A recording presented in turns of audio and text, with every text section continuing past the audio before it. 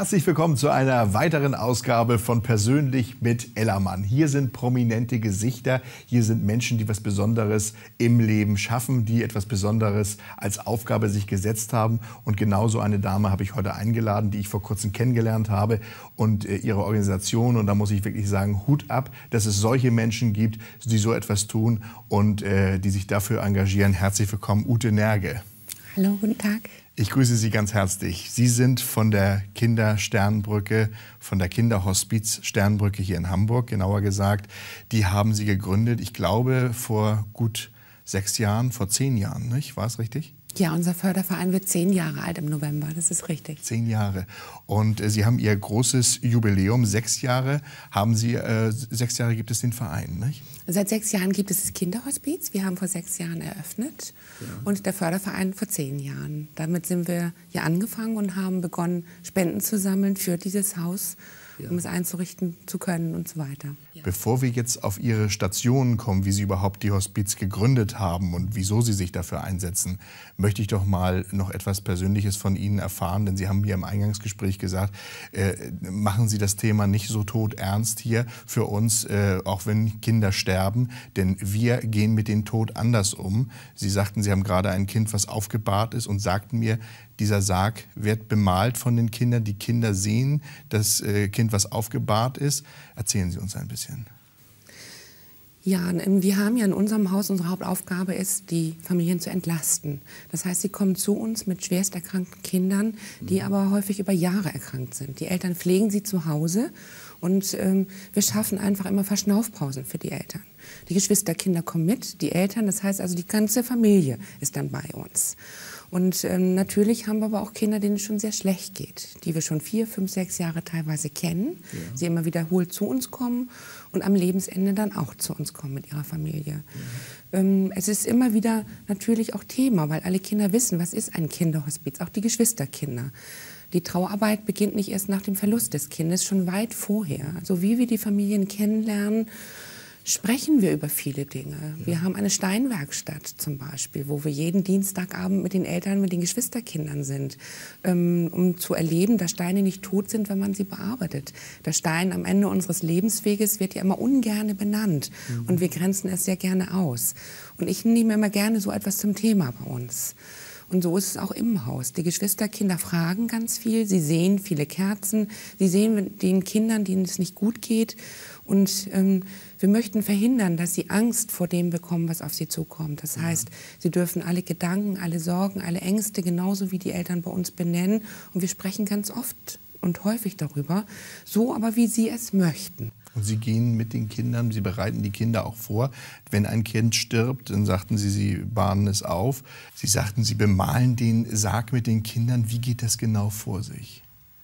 Wenn ein Kind verstorben ist, dann wird mit den Eltern in der Regel schon vorher besprochen, welche Wünsche sie haben, auch wovor sie Angst haben. All das wird vorher benannt. Wir wissen also dann, welchen Sarg die Eltern für ihr Kind gedacht haben. Er wird uns dann schon gebracht. Mhm. In der Zeit, wo das Kind fünf Tage bei uns aufgebahrt wird, bis zu fünf Tagen ist das möglich, wird dieser Sarg bemalt bei uns. Wir haben einen Kreativraum und da steht er und die Eltern bemalen den Sarg mit Dingen, die an das Kind erinnern. Das heißt, im Moment, der Sarg hat einen blauen Himmel und hat den Griff äh, des Rutscherautos von dem Kind obendrauf jetzt. Den hat der mhm. Vater da drauf gebaut zum Beispiel. Ähm, dass er sagt, es muss ein Leuchtturm da drauf. Unser Kind hat Leuchttürme geliebt. Es ist der Wellensittich zu Hause oder der Hund. Mhm. Es sind ähm, Erinnerungen an das Kind, ähm, ob das das Kuscheltier ist oder ähnliches, wird auf, das Sarg, auf den Sarg bemalt. Und ähm, auch in den Sarg wird gesehen, also die Geschwister gucken sich einen Sarg auch an. Also der ist nicht an. zu, der Sarg, sondern Nein, ist offen. Er ist offen, Sie können den Deckel die, abheben. Wie gehen die Kinder damit um, äh, wenn die das sehen? Äh, gehen die darauf zu? Streicheln sie noch mal? Wie, wie, wie, wie läuft das? Ich kann mir das Also wenn vorstellen. wir den Sarg bemalen, liegt das Kind im Abschiedsraum ja. äh, aufgebahrt.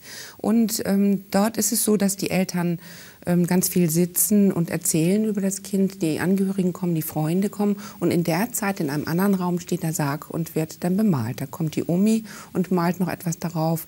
Das kommen äh, die Freunde, die Nachbarn, die Patentante vielleicht, mhm. aber auch unsere Schwestern und Mitarbeiter aus der Sternbrücke, die dort etwas raufmalen dürfen. Ist das nicht... Äh schwieriger für die äh, Abschiednehmenden, dass äh, man so Abschied nimmt, sage ich, oder sehen Sie es als Erleichterung äh, des Sterbens an?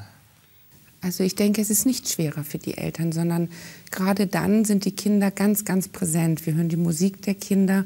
Entweder ist es ähm, ja, Herr Zukowski mit seinen Liedern ja. oder es ist Heavy Metal, wenn wir einen etwas älteren und größeren haben, wo Vater dann oft sagt, ich weiß noch, wie diese Musik im Haus, ich bin immer wahnsinnig geworden. Also sie erzählen über ihr Kind, während sie malen. Es wird geweint, es wird aber auch manchmal gelacht, dass sie sagen, weißt du noch die Situation, wenn sie den Leuchtturm mal mit Oma am Strand, wie sie mit mal von der Welle und mhm. dann kommen kommen Geschichten und das Kind, als wenn das Kind dabei ist, es wird den Eltern sehr viel leichter, weil sie all das, was ihre Erinnerungen sind, ähm, uns ähm, erzählen dürfen. Ja. Und äh, wir lernen das Kind immer mehr kennen. Und sie haben auch die Angst verloren, wenn sonst ähm, die Kirchentür aufgeht und der Sarg steht dort ja. geschmückt, hält jeder die Luft an und sagt, mein Gott, jetzt kommt wirklich ein ganz schwerer Weg. Ist das ist bei unseren für, Eltern nicht so. Ja, es ja. ist einfacher für die Kinder vor Ort ja. und aber auch die Eltern.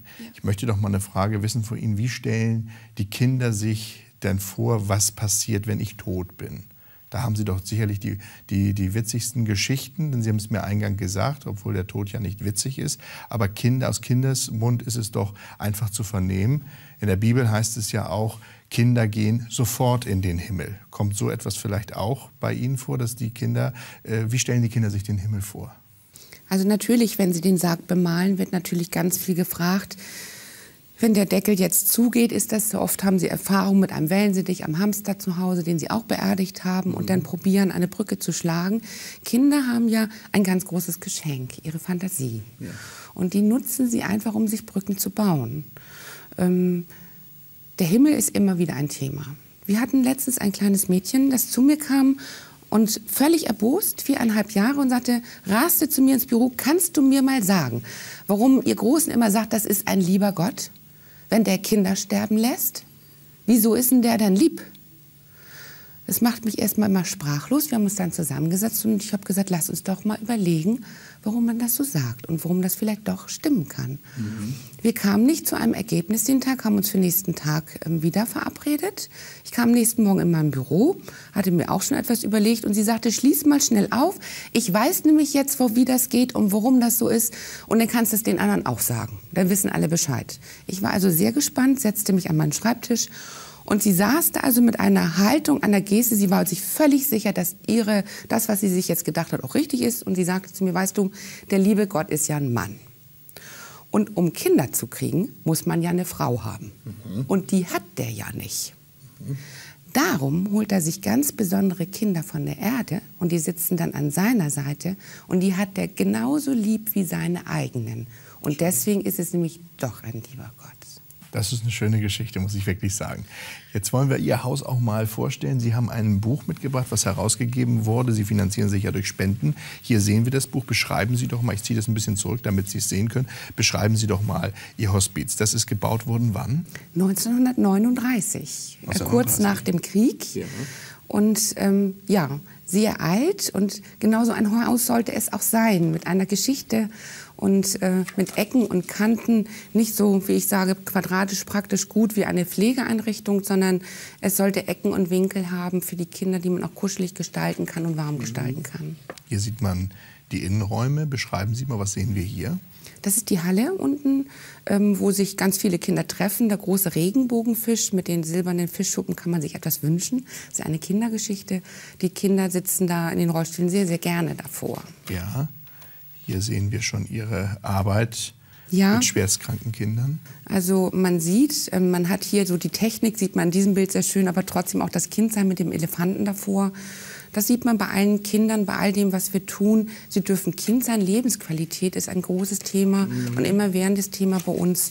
Und auch miteinander etwas zu tun, für uns ist natürlich das Wichtigste zunächst, dass alle Kinder schmerzfrei sind. Es gibt nur zwei Kinderschmerztherapeuten in Deutschland. Einer davon ist bei uns tätig, Herr Dr. Potmann. Und erst wenn die Kinder schmerzfrei sind, können sie all das, was sie sehen, genießen und haben wieder Freude am Malen, am Musik hören, daran ja. etwas zu tun. Sonst, das kann man sich vorstellen, wenn man Schmerzen hat, mag man an nichts anderes denken. Und das ist zunächst unser Ziel, wenn alle Kinder zu uns kommen. Dass sie also gut eingestellt werden. Und dann sehen sie so das Leben bei uns uns, da ist also Geburtstag wird dort gefeiert. Gleichzeitig mhm. kann es aber durchaus sein, dass auch ein Kind verstirbt und beides hat seinen Raum unter diesem Dach, der Tod und das Leben. Ist das ein Abschiedsbrief? Nein, das ist von unserem großen ähm, Jungen, den Sie dort auf dem Foto sehen. Er hat einen Tumor und er kommt schon sehr, sehr lange zu uns und ist ein ausgesprochen fröhlicher, junger Mann inzwischen, wie man sieht. Wenn Christian lacht, dann ähm, lacht das ganze Haus. Man, man kommt ins Haus und man merkt mhm. sofort, oh, Christian ist da, weil jeder schmunzelt. Er hat ein Lachen und eine Lebensfreude, ähm, die einfach ansteckend ist mhm. für alle bei uns im Haus. Wie gehen Sie damit um, äh, die Erwachsenen, die Eltern, die Sie besuchen? Wie können Sie besuchen? Können Sie nachts kommen? Können Sie am Tage kommen? Wie ist das geregelt? Also bei uns ist ja die ganze Familie mit aufgenommen. Die Eltern schlafen bei uns, auch ja. die Geschwisterkinder. Gehen aber auch zum Teil nach Hause. Ganz unterschiedlich, wenn es ja. Hamburger Kinder sind zum Beispiel, dann sind, kommen die Eltern sie besuchen oder zu Hause renovieren. So das ganz normale, der normale Alltag, den haben unsere Eltern ja auch. Oder wenn es der Großmutter nicht gut geht und sie möchten in der Klinik bei der Omi gerne bleiben, dass wir dann in der Zeit die Kinder pflegen zum Beispiel. Das Geschwisterkind ist erkrankt. Oder es kann ja auch durchaus sein, das haben wir leider schon sehr häufig gehabt, dass die Eltern schwerst erkranken. Ja. Und, ähm, die nehmen Sie aber auch auf? Ne? Nein, nicht die Eltern, ja. aber die Kinder in der Zeit, damit der Partner sich um ähm, die kranke Mutter und den kranken Vater kümmern kann. Ja, wir sehen hier noch ein paar Bilder. Hier sehen wir die gemalten Bilder, allerdings nicht beschrieben auf dem Sarg, sondern an der Garagentür, an der Fassade. Das ist unser Bauzaun, weil wir ja im Moment für die jungen Erwachsenen bauen und im März eröffnen wollen, sodass wir auch junge Erwachsene aufnehmen können. Ja, Sie haben jetzt zehnjähriges Jubiläum, was Sie gefeiert haben gerade. Ja. Und hier sehen wir noch weitere Bilder von Ihrer Arbeit. Inwiefern spielt die Bibel, die Kinderbibel bei Ihnen eine Rolle? Arbeiten Sie da auch mit, um Bilder zu, äh, zu, darzustellen, zu zeigen, um eine Brücke zum Himmel, denn sie heißen ja Sternenbrücke, das heißt ja nach oben die Brücke zum Himmel. Arbeiten Sie da mit der Bibel auch? Also wir haben einen Raum der Stille bei uns. Ja. Der liegt vor dem Abschiedsraum, wo das Kind aufgebahrt ist. Und da gibt es in der Tat eine Kinderbibel. Und äh, wir versuchen schon, ähm, den Kindern äh, diese, die Bibel näher zu bringen. Und unsere hat sehr viel Glitzer und Gold und Silber. Und man weiß, dass Kinder dann gerne gucken. Mhm. Und es entstehen natürlich ganz viele Gespräche dann, wie es im Himmel sein wird, ähm, dass die Zeit da oben schneller vorbeigeht als bei uns unten auf der Erde, dass Mutti und Vati also ganz schnell nachkommen. Ähm, mhm. Ein kleiner Junge sagte mir, er müsse da oben ein Haus aus Wolken bauen mit goldenen Türmen. Und er müsste auch schnell bauen. Und da würde er vorsitzen und dann warten. Da habe ich gesagt, warum sitzt du vor dem Haus und auf was wartest du? Und er sagte dann, bis Mama und Papa kommen und meine Geschwister. Ähm, sagt er, und dann ziehen wir in dieses Haus ein. Und ich sage, ja, aber warum baust du vorher das Haus und sitzt davor und wohnst nicht da drin? Da sagt er, muss ich ja nicht, weil ich bin ja über den Wolken, da regnet es ja nicht. Ah ja, also Schlau gedacht. Sie haben ganz klare Vorstellungen. Das ist wunderbar. Hat Ihnen eine Geschichte, äh, eine, Sie müssen ja mit dem Tod täglich umgehen. Äh, Sie sehen, wie Kinder versterben. Äh, hat eine Geschichte Sie richtig mal berührt, wo Sie sagen, das ist mir richtig nahe gegangen. Es wird sicherlich, sicherlich die eine oder andere äh, Geschichte, die eine, der eine oder andere Sterbende Ihnen nahe gehen. Aber hat Sie eine Sache richtig runtergerissen, wo Sie sagten, da habe ich lange für gebraucht, um das zu verarbeiten? Also wir haben in der Tat ein kleines Mädchen, ein Heimkind bei uns gehabt, was über zwei Jahre bei uns gelebt hat, äh, weil es war schwerst pflegebedürftig und ja, Sie können sich vorstellen, wenn man ein Kind so lange hat, dann gewinnt man es sehr lieb. Und da wir wussten, dass es wenig Liebe und Fürsorge bis dahin bekommen hat, musste Pauline, so hieß sie, damit mal die Liebe von 16 Kinderkrankenschwester und mich aushalten. Mhm. Und das war schon viel. Wir haben sie sehr gemocht, diese kleine Motte. Und wie Pauline verstorben ist, mussten wir in der Tat sagen, mussten wir sehr aufeinander achten. Und ähm, ich habe auch meine Mitarbeiter gebeten, auf mich aufzupassen. Und das ist, glaube ich, ganz, ganz wichtig. Das ist Ihnen sehr nahe. Ja, das ist auch bei uns ähm, etwas, ähm, was ganz besonders in unserer Arbeit ist. Wir müssen sehr, sehr viel aushalten, die Eltern gut begleiten, aber wir müssen auch gucken, wie es uns geht, damit wir diese Arbeit gut leisten können. Und ähm, das funktioniert bei uns sehr, sehr gut. Also wir haben viele Arme auch für uns. Und ich muss sagen, sind natürlich viele Kinder. Wir haben jetzt in der Sternbrücke 74 Kinder vor Ort verloren. Ich selber habe 86 mhm. Kinder begleitet. Es gibt natürlich auch schon Gedankengänge von Kindern, ein sehr ein kleines Mädchen, die sehr christlich erzogen ist, zu Hause bei der Großmutter aufwuchs, wo der Pastor jeden Sonntag zum Mittag kam Und von der kleinen Jenny habe ich sehr viel gelernt. Und Jenny sagte, weißt du, ich habe auch gar keine Angst davor zu sterben, ja. weil im Himmel ist es schön. Ja. Und habe ich gesagt, woher weißt du das so genau? Ich sagte, da ist doch noch nie jemand wiedergekommen und hat uns das erzählt.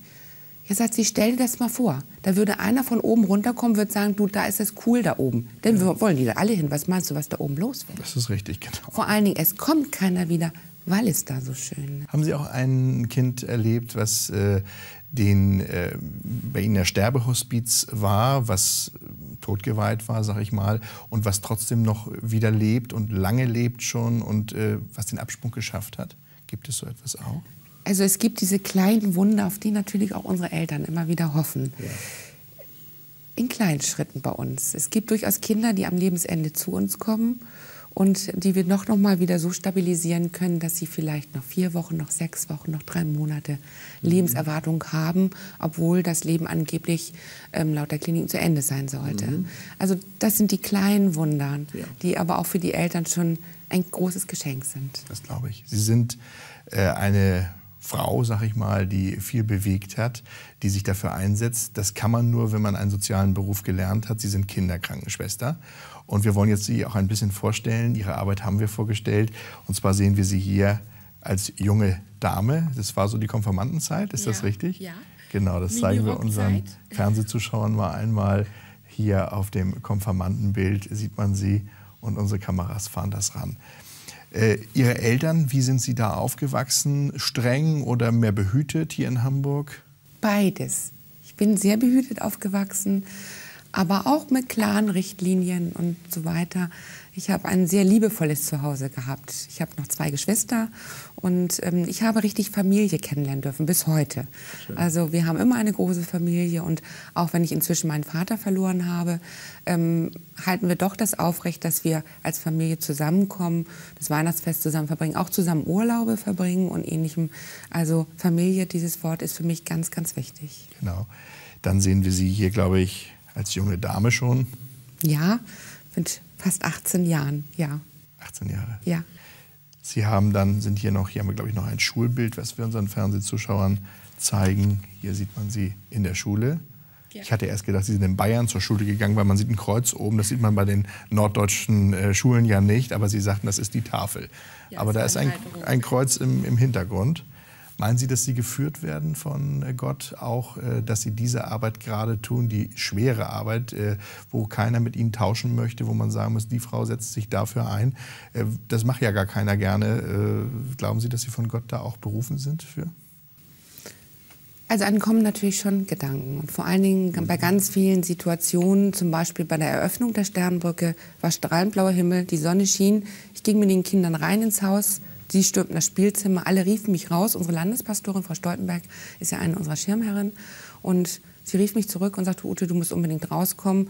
Alle guckten zum Himmel und waren völlig erstaunt. Über dem Haus stand ein Riesenregenbogen. Mhm. Und das bei blauem Himmel. Das gibt es das eigentlich gar nicht. Wunder, ja. Gott für uns bereithält. Wir haben viele Situationen bei uns im Haus, wo man sehr nachdenklich wird und wo wir auch inzwischen sagen, das ist so. Irgendjemand auch, ja. leitet da, irgendjemand tut etwas für uns und er meint es gut. Sie wissen auch, warum Gott den Regenbogen geschaffen hat? Nein. Dass er den Bund mit uns schließt. Und vielleicht hat er mit Ihnen den Bund auch geschlossen, dass Sie diese schwere Arbeit äh, sozusagen führen sollen hier in Hamburg. Können Sie sich das vorstellen? Ich wäre dankbar für die Begleitung. Ja. Denn man braucht in der Tat, alle Menschen in der Sterbenbrücke brauchen viel Kraft für das, was sie tun. Aber das tun sie voll Liebe und Fürsorge, muss man sagen. Und ähm, trotzdem, wenn wir da eine Unterstützung haben in dieser Form, ist es sicherlich eine Riesenhilfe für alle unter diesem Dach. Und wir würden es uns, uns wünschen. War Gott eine Hilfe in Ihrem Leben? Wenn Sie zurückblicken, war er mal eine große Hilfe, wo Sie sagt, da habe ich Gottes Hilfe äh, gespürt, da habe ich sie empfunden? Also ich denke, man selber ähm, lebt so in den Tag hinein, einfach mhm. so. Und ähm, man muss einfach sagen, auch ich ähm, habe Lebenssituationen natürlich erlebt, wie mein Sohn schwer krank war. Gott sei Dank Dadurch jetzt wieder Sie gesund. auf dieses Thema auch gekommen? Nein, Nein, das war noch so eine Ergänzung. Da war die Idee schon da und auch der Förderverein schon gegründet. Aber trotzdem ähm, war das etwas, wo man natürlich hofft, Hilfe zu bekommen als Mutter. Das erlebe ich ja. auch bei all unseren Müttern, bei unseren Ist Ihr Vätern. Sohn hier zu sehen auf dem Familienbild? Nein, Leider nicht. da war noch nicht einmal geplant. Noch Nein, da bin ich frisch verheiratet mit der ganzen Familie auf diesem Foto. Ja. Aber es ist schon ein, eine Situation gewesen, wo man sagt, ähm, lieber Gott, hilf, dass ja. mein Kind wieder gesund wird. Beten Sie? Und, ähm, ja, also das sind Beten schon ganz viele, nicht regelmäßig, aber in der Sternbrücke schon. Ja, mit allen Eltern. Nein, nicht täglich. Es kommt immer darauf an, auf der Situation, denn ich bin manchmal auch Tag und Nacht vor Ort. Und es muss halt auch mal passen. Ja. Ich habe 24 Stunden Rufbereitschaft seit sechs Jahren. Ja. Und äh, mit den Eltern tun wir es immer. Auch wenn das Kind ausgesegnet wird, ja. ähm, wenn es verstorben ist, im Änderungsgarten. Ähm, alle unsere Kinder kennen das Vaterunser, auch die ganz Kleinen schon. Und, äh, und Sie sprechen das Vaterunser auch? Ja, immer. Ja. Also es hat diesen Rahmen, aber es bekommt auch den Raum je nach Glaubensrichtung der Eltern. Wir mhm. sind da also konfessionell nicht gebunden. Man, man sieht hier, es geht fröhlich zu. In ja. der Sternenbrücke, obwohl sie mit sterbenden Menschen. Und das ist ein schwerkrankes, ja. stoffwechselkrankes Kind. Und man sieht, jeder Tag wird wirklich doppelt gelebt und genossen und mit viel Freude auch. Also bei uns wird sehr viel gelacht. Die Kinder machen sehr viel Blödsinn, wenn sie noch können, wenn sie ja. schmerzfrei sind. Das Leben hat bei uns eine ganz, ganz hohe Wertigkeit. Das ist schön, wunderbar. Das sieht man, denke ich, auch auf den Bildern, das sieht man auch in unserem Buch. Ähm, und was für die Kinder eben ganz wichtig ist, dass sie trotzdem auch lachen können. Ja. Und auch wenn sie im Rollstuhl sind, gut, aber von da aus kann man auch angeln und von da aus kann man auch verschiedene Dinge tun. Ja. Das ist so. Und man kann sich damit arrangieren. Das sagen ganz viele unserer Kinder. Und der eine kann die Arme nicht heben und der andere kann eben nicht laufen, da kann man sicher helfen. Genau, Frau Nerge, wir wollen von Ihnen so langsam zum Schluss äh, wissen, doch wie man Ihnen helfen kann und vor allen Dingen, wie kann man Kontakt mit Ihnen aufnehmen. Denn es gibt, glaube ich, eine Internetseite, wenn Sie uns die verraten würden. Ja, ja, gerne. www.sternbrücke.de und ähm, Sie können dort Einsicht nehmen, Sie können das Haus ansehen und aber natürlich auch spenden. Ja. Und äh, wir freuen uns da sehr drüber, denn dieses Wirtschaftsjahr ist natürlich gerade für alle sozialen Projekte, die auf Spenden angewiesen ja. sind, äh, doch ein sehr schwieriges Jahr. Brauchen Sie auch Helfer? Sind. Helfer erwünscht? Ehrenamtliche ja. Mitarbeiter Gibt es da eine gerne. Telefonnummer in Hamburg, die wir, die wir unseren Zuschauern nennen können, die Sie vielleicht sagen? Das ist die Zentrale von der Sternbrücke. Das ist die Telefonnummer 040 für Hamburg und 8199120. Und dann durchstellen lassen bitte zu dem ehrenamtlichen Koordinator weil alle unsere Mitarbeiter bekommen eine Schulung von 60 bis 80 Stunden und bevor sie bei uns zum Einsatz kommen und er wird sie dann mit Freude aufnehmen und zu einem Gespräch einladen. Frau Ute Nerge, wir haben viel erfahren. Es war ein schweres Thema. Am Anfang habe ich gedacht, das wird für mich ein wahnsinnig schweres Thema. Aber wie Sie mit dem Tod umgehen, auch positiv mit den Kindern, wie sie die Brücke schaffen, die Sternenbrücke schaffen für die Kinder. Lobenswert für ihre Arbeit. Ich wünsche Ihnen viele erfolgreiche Jahre, dass Sie Ihre Organisation, Ihr Haus halten können. Ich wünsche Ihnen auch viele Spenden dafür. Und äh, seien Sie gewiss, ich werde Sie auch unterstützen und viele Menschen, die im Fernsehen zuschauen, sicherlich auch. Das war wieder eine weitere Ausgabe von Persönlich mit Ellermann. Schalten Sie wieder ein. Es gibt fröhliche Themen bei uns. Heute war ein besinnliches Thema, aber diese Themen behandeln wir auch hier auf Bibel TV, Ihrem Lieblingssender. Mehr Infos auch unter www.bibeltv.de. Ich darf auch hinweisen, dass wir eine Sendung haben, Hoffnungsvoll, wo wir auch Ihre schwersten Nöte hier auf Bibel TV behandeln. Ich wünsche Ihnen alles Gute und Gott beschütze Sie. Ciao, ciao.